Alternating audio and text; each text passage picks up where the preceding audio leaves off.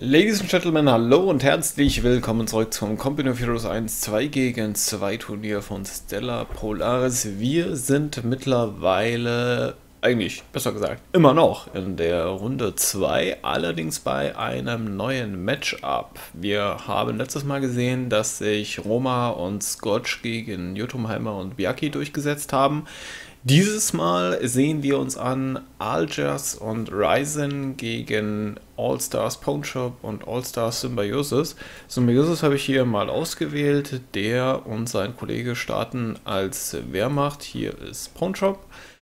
Auf der anderen Seite, wie schon gesagt, Algiers 5 und Got to Keep It On Rising, also Ryzen. Fangen wir einfach mal an. Hier der WSC T1 Start Combo. ja, und hierzu, wie gesagt, nochmal ein, ja, eigentlich auch wieder ein Regelverstoß. Im Sinne dessen, dass eigentlich Antrags hier spielen sollte. Das allerdings aus welchen Gründen auch immer nicht mehr tut und Symbiosis stattdessen eingesprungen ist. Eigentlich nicht korrekt, wie gesagt, aber wohl so von der Turnierleitung akzeptiert worden. Gut, WSC T1 haben wir schon einmal gesehen. Wir sind mal gespannt, wie es hier funktioniert. Was ähm, Alges angeht, so war er zu seinen besten Zeiten auch einer der besten Spieler, den Company of Heroes gekannt hat. Also wirklich absolute Top-Spitze. Allerdings damals 1 gegen 1 und so wie ich das beobachtet habe, also ich wollte erst gar nicht glauben, dass er das wirklich ist, weil er wirklich einfach grauenhaft am Anfang 2 gegen 2 gespielt hat, das muss man einfach sagen. Er hat also wirklich auch gegen, ich weiß gar nicht, mit wem ich da gespielt hatte. Auf jeden Fall hat er einfach ziemlich krass Prügel bezogen. Musste sich also wohl auch erst reinfinden in die Sache. Gut, hat natürlich auch lange nicht gespielt, das ist auch immer Moment, keine Frage. Auf jeden Fall hat es wohl etwas gedauert und wir sind mal gespannt, wie das jetzt hier ausgeht, denn oh, in Symbiosis hat er auf jeden Fall einen Gegner, der ebenfalls zu den absoluten Topspielern gehört, während ich den Kollege hier jetzt nicht einschätzen kann und Ryzen ähm, eigentlich ein bisschen schlechter anordnen würde. Aber wir werden es ja im Folgenden sehen. Die ersten Gefechtsberührungen hat schon gegeben. Hier geht einmal ein Pionier nach Hause und da wird ein bisschen rumgepusht.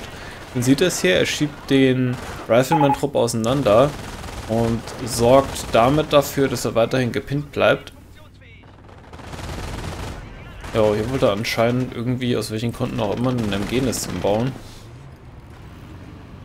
Aber das ist wohl nicht realistisch, wenn hier zwei gegnerische Maschinengewehre sind und zwei Kräder rumfahren. Da muss auch der Jeep aufpassen. Also ziemlich starker Druck, unter dem die beiden alliierten Spieler hier im Moment stehen. Das MG sollte wahrscheinlich auch eher in die Mitte ziehen. Da würde es im Moment wesentlich dringender gebraucht werden. Was ist denn der Schütze hier? Ja, der hat jetzt halt das Problem, dass er wirklich schon zwei Mann verloren hat. Läuft jetzt im Moment in die Mitte kann das MG nicht flankieren, das ist umgebaut worden. Zumindest ein Grad erstmal hier und treibt den Mörser wenigstens im Moment zurück. Aber sehr, sehr offensives Spiel von Seiten von der Wehrmacht und auch sehr erfolgreich. Also hier oben wirklich nur ein einziger Pionier, der so ein bisschen langsam die Gebiete erobert und ansonsten ist alles hier in der Mitte und das sehr, sehr erfolgreich. Wir werden mal schauen, wie sich das verändert, wenn jetzt der Mörser ins Spiel kommt. Der wird auf jeden Fall nochmal ein bisschen Punch geben, den Alliierten, wo die Wehrmacht im Moment auch nicht so extrem viel dagegen tun kann. Aber die hat schon viel erreicht, indem sie die Siegesmarke hier kontrolliert und den Munitionspunkt neutral hält. Ja, da wird auch wieder eine Mine gelegt. Es ist überhaupt nicht gut, das jetzt hier zu tun. Aus sehr nachvollziehbaren Gründen. Man legt keine Minen, wenn ein Grat daneben steht so ziemlich das ja, Falscheste, was man machen kann. Der Volksgrenadier in schwerer Deckung verkauft sich ganz gut gegen das Maschinengewehr, hätte sich allerdings nicht bewegen sollen und auch nicht die Seite der Deckung wechseln, denn dann funktioniert das mit dem Behaupten gar nicht mehr so gut. Jetzt ist auch langsam die Chance gegeben, dass sie den Zehner hier auf jeden Fall dann doch mal erobern. Mit Unterstützung des Mörsers. wie schon angedeutet. Hier kommt jetzt auch der erste Scharfschütze. Sehr früh getan, muss man sagen. Wundert mich etwas. Könnte sicherlich weiter nach vorne laufen, zumal er hier Schutz durch das Grat hat. Also sehr konservativ, möchte man fast sagen. Ich weiß nicht, ob die Mine jetzt hier fertiggestellt ist, bin ich mir nicht ganz sicher. Hier sehr viel defensive Minen auf jeden Fall. Interessanterweise. Es ist auch noch gar kein Scharfschütze da bei den Alliierten, wenn ich das richtig sehe. SMG geht jetzt nach Hause. Und da haben wir die erste Doktrinwahl. Zumindest die, die wir offiziell mitbekommen. Dev-Doktrin. Und der dazu passende Bunker wird hier gebaut. Und es geht jetzt halt ein bisschen vor bei den Alliierten. Also es ist halt wirklich der Mörser, der da sehr gut wirkt. Jetzt wird es gleich interessant, wenn er hier in die Mine marschiert. Zack, das trifft nämlich auch den Mörser ein bisschen. Nicht entscheidend, aber durch, durchaus schon etwas. ja, und die Alliierten haben sich wirklich dank der Unterstützung des Mörsers ganz gut aus der Umklammerung hier befreit und marschieren jetzt langsam aber sicher vorwärts. Und das müssen sie eigentlich auch. Wir haben ja schon gesehen, dass es nicht das taktisch Beste ist, was passieren kann, wenn man diesen Vormarsch zu lange unterlässt. Kann funktionieren, muss es aber nicht. Ja, jetzt halt erst einmal ein bisschen Ruhe eingekehrt. Konsolidierungsphase, wenn man so möchte. Allerdings nicht gänzlich ruhig. Es wird hier durchaus noch versucht, was zu erobern. Das läuft also ganz gut. Hier muss er jetzt aufpassen mit seinem Scharfschützen. Genau, positioniert das Spike auch schon, um gegebenenfalls den Jeep zu blocken. Sehr, sehr schön. So dass der Scharfschütze weiter schießen kann. Was er allerdings noch nicht tut. Traut er sich im Moment noch nicht. Ja, und das war die Panzerfaust und somit auch das Ende des Jeeps. Die Chance, dass das passiert, ist sehr hoch. Und es ist natürlich sehr, sehr ärgerlich, seine Scouting-Einheit hier zu verlieren. Gibt den Scharfschützen auch noch mal ein bisschen mehr Luft zu arbeiten. Ist ja natürlich auch ein bisschen bitter, wenn das jetzt hier passiert, was ich denke, was passiert. Ja, genau das. Hat er nicht gesehen. Sehr schade natürlich. Oh, ich wollte gerade sagen, so knapp vor der Mine angehalten und da ist er auch schon reingelaufen. Aua, aua. Aber die Möglichkeit für einen Angriff ist jetzt über die Flankierung hier gegeben und das MG muss da auch weg. Sehr viele Minen wirklich, auch hier. Defensive aber vor allem. So, Megasus hat aber auch einen Minensucher, geht damit offensiv vor, räumt jetzt auch die erste Mine hier aus dem Weg. Damit kann er dann mit dem Grat vorgehen und auch auf die Scharfschützen drauf fahren. Die werden jetzt erstmal nicht gedeckt sein. Ja, genau. Da kann er jetzt erstmal ein bisschen Schaden verursachen. Er muss ja gar nicht töten. Wichtig ist nur, dass die wegkommen. Scheint aber auf den Kill zu gehen. Das wird fast sicher daran enden, dass er das Grad verliert. Aber es wird auch bedeuten, dass er eine gewisse Chance hat, den Scharfschützen auszuschalten. Das entscheidet sich jetzt. Diese Salve wird das sein, die die Entscheidung bringt. Oh, da sehr viel Glück kommt noch durch. Und noch einmal, jawohl. Das war es dann natürlich auch wert. 180 Manpower gegen 340. Hat sich auf jeden Fall gelohnt. Und er hat drei gegnerische Scharfschützen verhindert. Sind jetzt dann halt in Anführungszeichen nur zwei. Das hat er auch direkt weitergemeldet. Das ist natürlich auch tipptopp in Ordnung. Ja, das Maschinengewehr hat er anscheinend auch verloren. Das war dann zwischenzeitlich der Mörser, der hat er die Aufmerksamkeit nicht gehabt, aber das ist vertretbar. Hier geht schon das T3 hoch, das ist sehr früh. Aber der M8 ist da, ist auch sehr gut in der Zeit eigentlich. Oh, die Scharfschützen haben da anscheinend einen Angriffsbewegungsbefehl, was nicht so gut ist. Oh, beide Minen geräumt durch dieses Grab waren aber auch nicht so toll gelegt, muss man dazu sagen. Sind wir mal gespannt, was der Mörser hier reißen kann. Hat auf jeden Fall schon mal den gegnerischen Mörser erledigt. Also das funktioniert wirklich sehr, sehr gut. Haben wir jetzt auch schon öfter gesehen. Panzerabwehrkanone kommt jetzt vielleicht ein bisschen spät, einfach deshalb, weil der Mörser zuerst gebracht worden ist. Aber auch das haben wir häufiger gesehen mittlerweile. Also offensichtlich sehr, sehr beliebt und es wird als sehr wichtig erachtet, den Mörser rauszunehmen. Was ich durchaus nachvollziehen kann. Angesichts dessen, wenn man sich jetzt hier einfach nochmal vor Augen führt, wie sich das Spiel gedreht hat, einfach deshalb, weil der Mörser da ist. So, der M8 ist jetzt hier. Er hat bisher noch gar nicht so viel gemacht. Ich weiß gar nicht, wo der unterwegs war, weil er ist ja schon, durchaus schon länger auf dem Feld, hat dann irgendwie wieder abgedreht, vielleicht um das Grad abzufangen.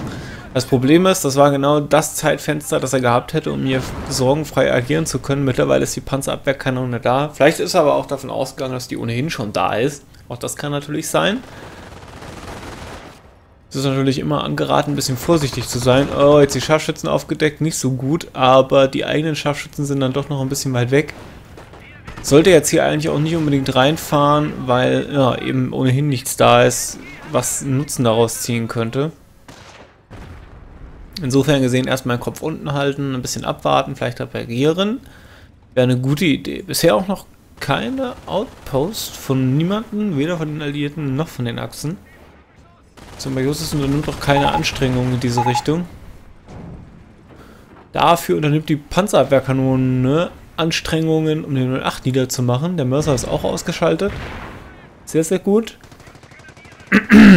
hat aber anscheinend noch einen Schuss rausgehauen auf das MG. Was ein bisschen schlecht gestanden hat. Und hier auch etwas unterwegs, was Minen räumen kann. Das Problem daran, er gibt eine MP ab und ersetzt sie durch den Minensucher. Was da natürlich ein gewisser Nachteil ist, wenn man es mit einem gegnerischen Pionier zu tun bekommt. Typischer Kampf auf den Flanken sozusagen, Pionier gegen Pionier, auch in Minute 10 noch. Ja, und die Achsen, die wollen nicht so ganz von ihrem offensiven Spiel lassen. Mit dem Mörser haben sie jetzt eine sehr gute Möglichkeit, gehabt, bereits einen gegnerischen Mörser auszuschalten, können natürlich auch gegen alle möglichen anderen Einheiten hier Druck aufbauen. Die Scharfschützen haben sie unter Kontrolle, haben sogar eigentlich ja, mehr als der Gegner hat. Und das sind sehr, sehr gute Voraussetzungen, dann hier selbst wieder offensiv zu werden. Die wird auch sofort genutzt und auch das zeichnet einen guten Spieler aus sobald man die Möglichkeit hat, tatsächlich auch wieder offensiv werden und versuchen, Boden gut zu machen, eben nicht nur zu sagen, okay, wir sind jetzt stabil, wir warten jetzt erstmal ab, sondern nein, sofort wieder in die Offensive zu wechseln, so ein fließender Übergang zwischen Defensive und Offensive, das ist es, was wir sehen wollen. Dann kommt jetzt der erste M10, früh auch, lustigerweise, wenn man sich überlegt, dass es keinen Outpost gibt. Aber ja, es ist definitiv festzustellen, dass dieser M10 eine sehr beliebte Einheit geworden ist. Wir sehen das wirklich früh mittlerweile. Viel auch. Ja, und da hat er richtig gehört. Auf dem M10. Ah, leider hier nicht die Gelegenheit. Ja, da hat er gechattet, sonst hat er vielleicht die Chance gehabt, den Scharfschützen auszuschalten. Da muss man halt Prioritäten setzen. Was gibt jetzt hier noch? Ah, den Tech bereits. Okay, mehr Einheiten will er nicht haben. Ja.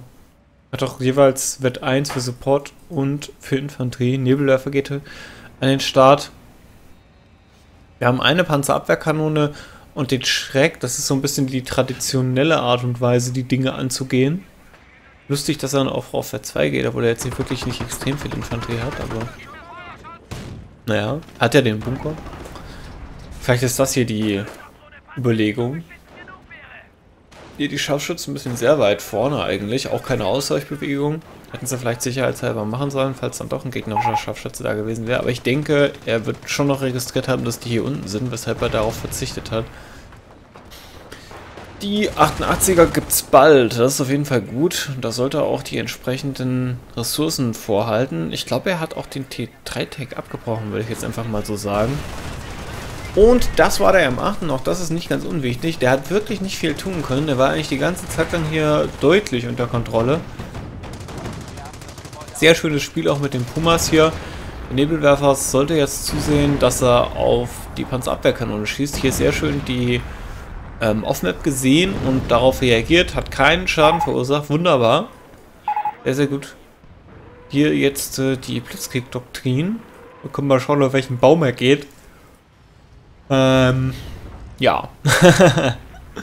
Lass mal überlegen. Das müsste dann eigentlich der rechte sein, weil bei der linken müssten wir bei 3 CP, wenn er dann ausgibt, schon Storms sehen. Es sei denn, er hat sie noch nicht ausgegeben, was eigentlich auch sehr gut möglich ist.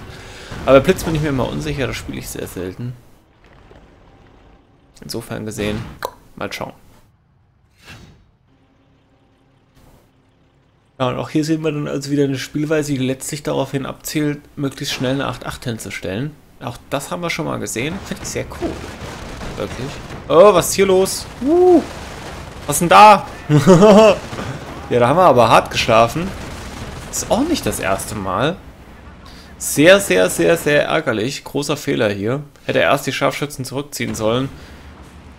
Hat er aber nicht gemacht, sondern hat erst die Pumas hingeschoben. Fährt jetzt hier auch durch die Mine, ein bisschen ungünstig, der Critical. Mal schauen, Sticky scheinen aber da zu sein. Und das heißt, auf Wiedersehen Puma. Wenn es nicht die Sticky macht, dann machen es die Bars.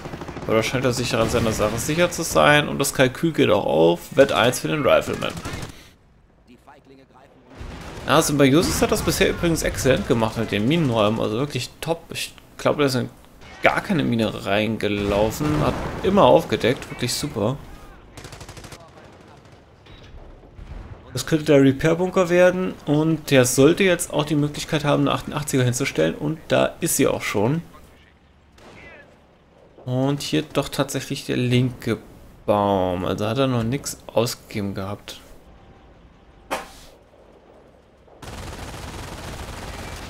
Ah, die Stormies sind hier schon auf dem Weg, sehr interessant. Mal schauen, was er damit macht, bin ich sehr gespannt drauf. So ein schönes Blitzplay zu sehen, das wäre mal was. Doppelschreck auch. Auch eine interessante Reaktion eigentlich, die Jungs hier irgendwie abzuparken und zu warten, dass die am 8 äh, die m 10 reinkommen und dann aufzutan und auf Wiedersehen. Sind wir mal gespannt drauf. Ja, er wartet hier sehr lange eigentlich mit seinem Angriff. Liegt auch ein bisschen daran, dass er vielleicht ein bisschen Probleme mit der Munition hat könnte auch sehr gut sein, dass ihm... Ja, dass einfach generell die Ressourcen fehlen eigentlich. Ja, und den würde ich jetzt stehen lassen. Und wenn er das bewerkstelligt, dann... Ja, leider nicht. Leider nicht. Hätte Angriffsbewegungsbefehl, äh, nicht einen Angriffsbewegungsbefehl, Entschuldigung, einen Bodenangriffsbefehl geben müssen. Die Einheiten irgendwo hinschießen, warten, bis die Allied War Machine aus ist und das Ding dann abfrühstücken, wäre ohne weiteres möglich gewesen. Da das Teil ja schon alle Criticals hatte, die man sich vorstellen konnte, war also komplett ungefährlich. Schade. Aber nicht kritisch. Der Scharfschütze sehr weit vorne, völlig ungedeckt. Zieht sich jetzt auch zurück, das ist das einzig ja, Richtige, nachdem der Fehler schon passiert ist. Bekommt ein paar Schüsse rein und wird weggecrittet. Ja, muss man einfach sagen, großer, großer Spielfehler von Ryzen. Dramatischer Positionierungsfehler und hinterher noch der Fehler dann tatsächlich auch zu schießen. Spammt weiter Scharfschützen hier. Aber schafft es immer wieder, seine Scharfschützen so zu verlieren, dass er nicht über ein gewisses kritisches Maß hinauskommt. Wird die Achsen sicherlich sehr, sehr freuen, dass das so ist. Die haben sich fest in der Mitte festgesetzt. Also da kriegt jetzt erstmal niemand mehr raus.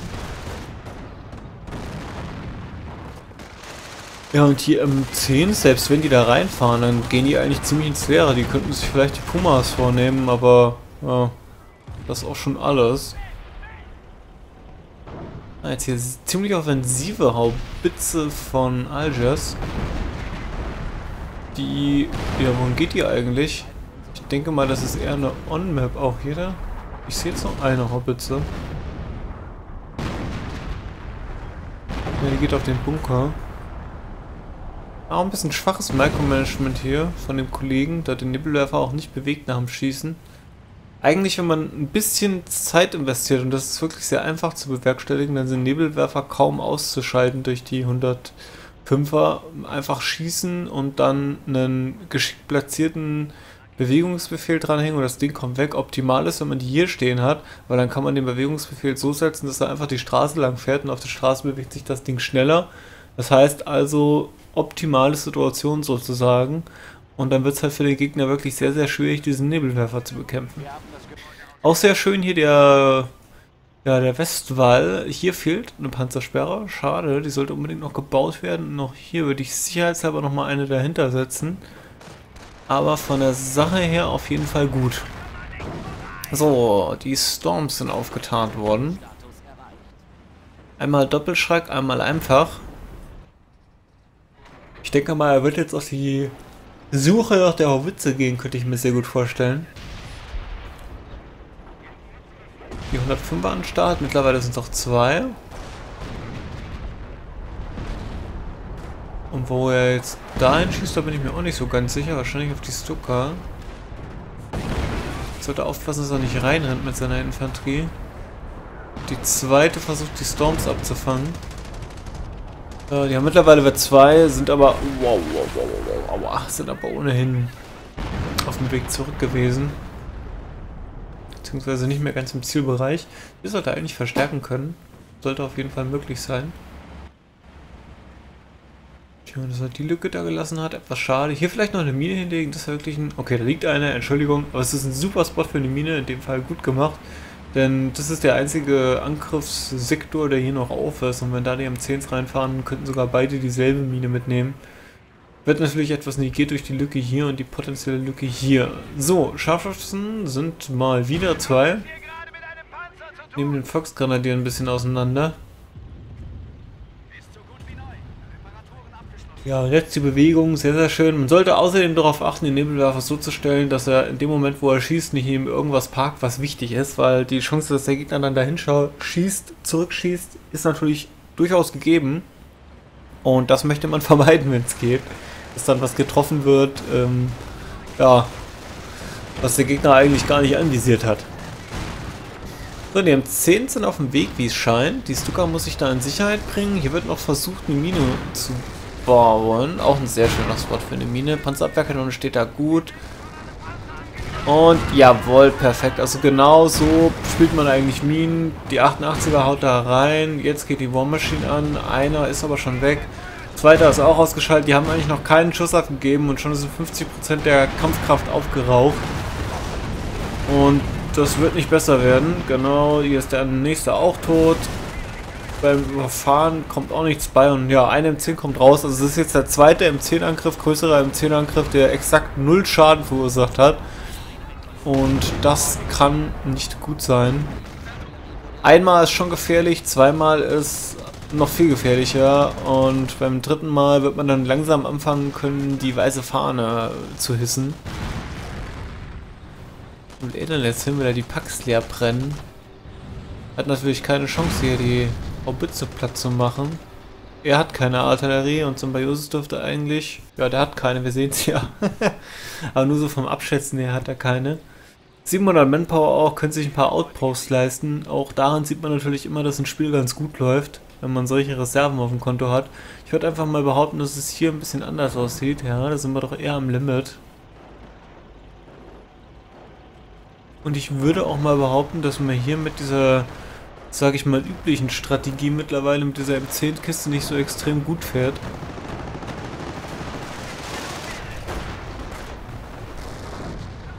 Ja, aber immer wieder sehr weit vorne die Achsen, sogar als den Punkt hier kontrollieren sie da natürlich auch ziemlich geil mit ähm, hier der, ich weiß gar nicht, wie die Fähigkeit offiziell heißt.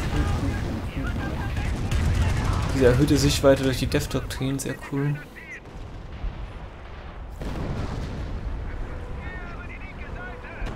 Oh, die Storms sind wieder auf dem Weg. Mittlerweile beide mit Doppelschreck ausgestattet. Der Nibbelwerfer, der ist nach wie vor ein Einzelkind. Das macht aber auch nichts. Auch die Stuka ist bisher alleine geblieben, hat auch noch nicht so viel Schaden verursacht. Tja, das ist wirklich Premium hier. Die Storms, die können halt einfach so weit vor weil schlicht und ergreifend keine Einheiten da sind, die das hier absichern, die die Mitte kontrollieren. Und auch deshalb ist es wichtig, die Mitte zu haben. Nicht nur, weil man, oh, er capt hier auch nicht, nicht nur, weil man die Ressourcen dann bekommt. Scheint es jetzt eher auf die Calliope abgesehen zu haben. Die tut hier sogar noch gefallen und läuft vor, aufgetarnt. Das heißt aber, der gibt den Kramo-Shot auf, macht aber nicht zwangsläufig was. Boah, erstmal zwei Mann weggesniped hier. Könnte sogar sein, dass es wirklich gesniped war, aber ich glaube, es war... Doch, war gesniped. Ja, ein bisschen unglücklich und... Das Teil ist rausgekommen, ne? Ja, genau. Vielleicht wäre es taktisch klüger gewesen, die Haubitze anzugehen, weil die kann nicht wegfahren. Eventuell besser wäre, wäre es gewesen. Ja, und das dürften sicherlich wirklich ein paar Outposts hier gespielt werden. Ah, Symbiosis hat dann lieber in das T4 investiert. Ist natürlich auch eine Möglichkeit. Gut, auf der anderen Seite muss man halt sagen, er braucht jetzt nicht unbedingt was. Wow, aua.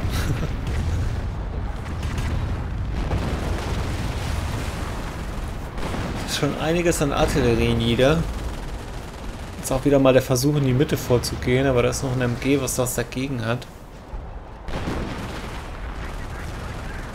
468 zu 221. Übrigens auch da sind die Alliierten schon ziemlich arg im Hintertreffen im Moment. Können jetzt aber zumindest den Punkt in der Mitte hier neutralisieren. Auch schon mal was Schönes. Dafür verlieren sie auf der linken Seite ein bisschen was. Ja, und hier ist Symbiosis mal wieder auf dem Weg. Hat auch jetzt einen Counter-Sniper geschafft. Sehr, sehr schön. Wunderbar.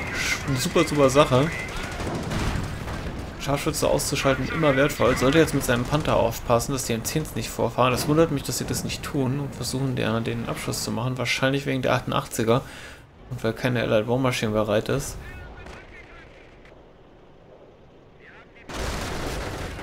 Ja, da eine Bundle, da haben dann auch die Wert 2, ist das Wert 2 oder Wert 3? Wert 2 oder wenn man nicht so viele Schnitte. Schön gemacht.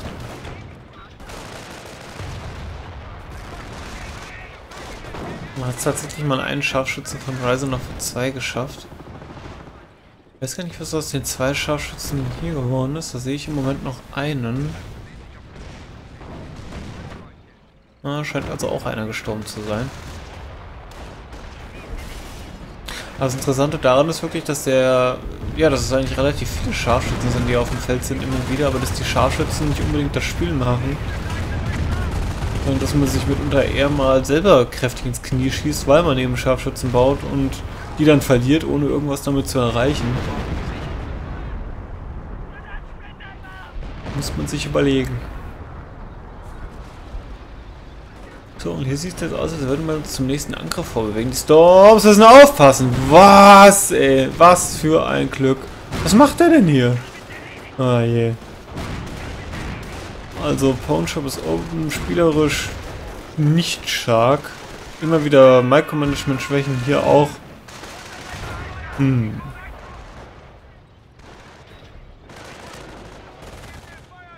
Ist wirklich nicht das erste Mal. Ach ja, jetzt erinnere ich mich auch, wir haben ja gesehen, wie die Scharfschützen gestorben sind. Auch das, also wirklich, das sind Sachen, die macht er hier immer wieder. Also in dem Spiel hat Symbiosis definitiv mehr gerissen. Man muss sagen, dass die Doktrin von Symbiosis auch mehr gebracht hat als die vom Kollege. Sichert sich jetzt hier auch den unteren Teil der Karte. Ja, und diese ganze Gravemouth und Hulk Smash adaptierte M10-Strategie, die geht eigentlich hier ziemlich in den Bach runter. Hat nicht viel gebracht. Ja, und auch hier hat er seine Aufmerksamkeit. Die Granate, die wird da wahrscheinlich eher nicht geworfen werden. Auch das MG wird zurückgezogen, dafür ist noch genug Zeit da. Und hier sieht es dafür, doch, er sieht es noch, ein bisschen spät vielleicht, aber er sieht es und das ist halt wirklich der Unterschied, wenn man solche Situationen erstmal vergleicht, wo wirklich fast ein paralleles Micromanagement nötig ist mit dem, was wir hier drüben dann sehen beim Kollege ist es schon ein Unterschied. Würde mich jetzt mal vielleicht über eine Dev-Arti freuen. Na gut, selbst wenn er jetzt die 280er einsetzen will, dann hat er immer noch genug Munition, um hier jetzt zum Beispiel wunderschöne Dev-Arti draufzusetzen.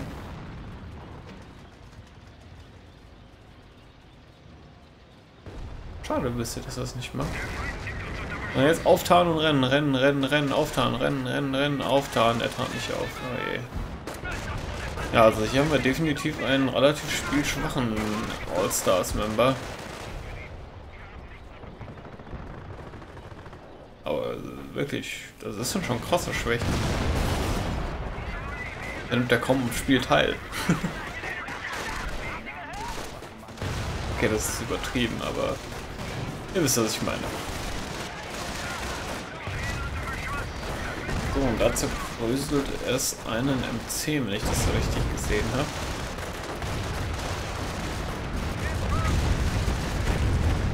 Oh. Die Kelly, da muss man oh, sehr, sehr viel auf, sehr, sehr viel aufpassen, ja. Aber jetzt wieder sich zurück, vielleicht keine so eine gute Idee. Der vordere Trupp hätte eigentlich da bleiben müssen und weiter. Na naja, gut, das Problem ist hier da. War doch irgendwo ein Scharfschütze, ne? Das ist das Problem gewesen. Hier. Mit 3. Ein bisschen das Einzige, was die dann noch im Spiel hält.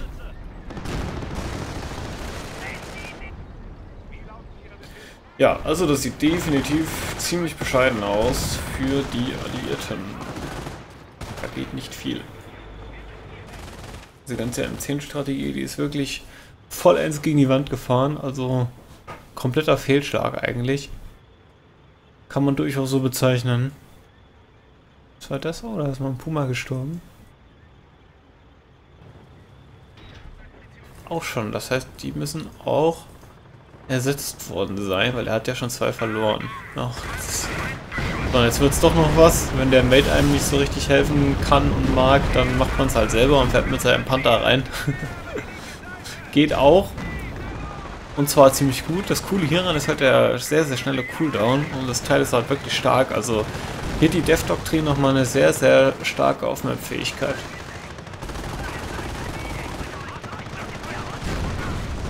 Panther, der pinnt mit seinem Turm-MG. Das ist auch nicht schlecht. Ja, die Kali wieder Long Range, Ultra Long Range hier.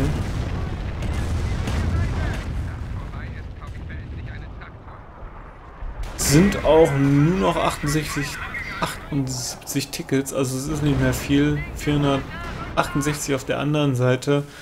Also das geht auch auf die Art und Weise jeden Moment entgegen, äh, dem Ende entgegen und hier strebt man ja auch schon danach, auf den gegnerischen Cutpoint quasi zuzustoßen. Also sieht wirklich nicht so richtig überzeugend aus. Hier jetzt nochmal die... Wow, wow, wow, wow, wow, wow, wow, was ist hier los? oh, der Scharfschütze, was der mit seinem Scharfschützen macht. Bringt aber auch nichts mehr, die Haubitze ist kaputt. Und da kommt also auch das äh, GG und das Well Played. Und dann, ah, survived. Nein, hat's nicht. Auch da ein Fehler unterlaufen. Ja. Interessantes Spiel zumindest. Wieder mal sehr schön zu sehen, die Wirkung des Mürsers. Auch ganz gut zu sehen, dass es diese M10-Geschichte nicht immer bringt. Und persönlich für mich auch etwas überraschend, hatte ich jetzt im letzten Spiel nicht so in Erinnerung, der krasse Unterschied hier im All-Stars-Team, was den Skill angeht. Mal sehen, wie sich das im nächsten Spiel darstellt, denn eins gibt es ja in jedem Fall noch, da müssen Aljas und Ryzen dann gewinnen, wenn sie eine Chance haben wollen, die nächste Runde einzuziehen. Das schauen wir uns als nächstes an und ja, wenn ihr Bock habt, könnt ihr gerne wieder vorbeischauen. Bis dahin, ciao, ciao.